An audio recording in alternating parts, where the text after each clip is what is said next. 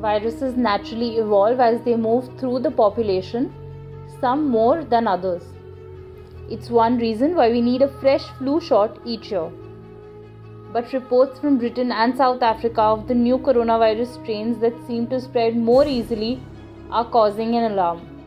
Here is what we know about the new strain.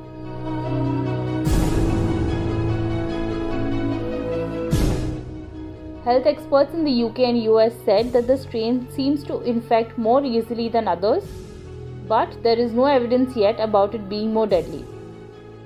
The strain is also concerning because it has so many mutations, nearly two dozen, and some are on the spiky protein that the virus uses to attach and infect to cells. That spike is what current vaccines target.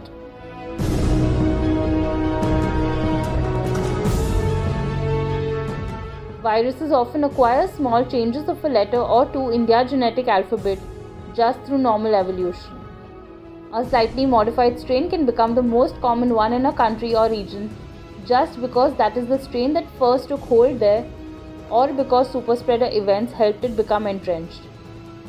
A bigger worry is when a virus mutates by changing the proteins on its surface to help it escape from drugs or the immune system. Emerging evidence suggests that this may be starting to happen with the new coronavirus. Trevor Bedford, a biologist and genetic expert, said that some variants show resistance to antibody treatments.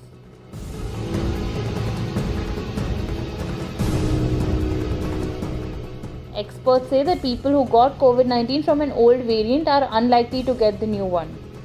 They also say that there is no reason to believe that the vaccines that have been developed will not be effective against the variant of the virus. Vaccines produce wide ranging responses by the immune system beyond just those to the spike protein. But the possibility that the new strains will be resistant to existing vaccines are low but not inexistent.